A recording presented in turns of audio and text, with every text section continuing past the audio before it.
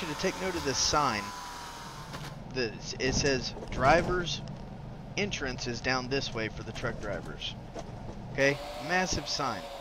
Now I'm gonna go into the around to this Love's and I'm gonna fuel and I'm gonna wait in this ridiculous line to fuel. And when I go to pull out, I want you to look at this U.S. Express truck that's trying to turn in the wrong way that apparently can't read a sign.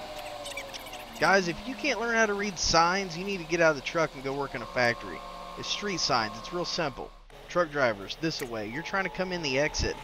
And if you've ever been to this Love's in Little Rock, you know that it's a nightmare no matter what way you pull in, but you definitely don't pull in the exit. That's just flat out stupid.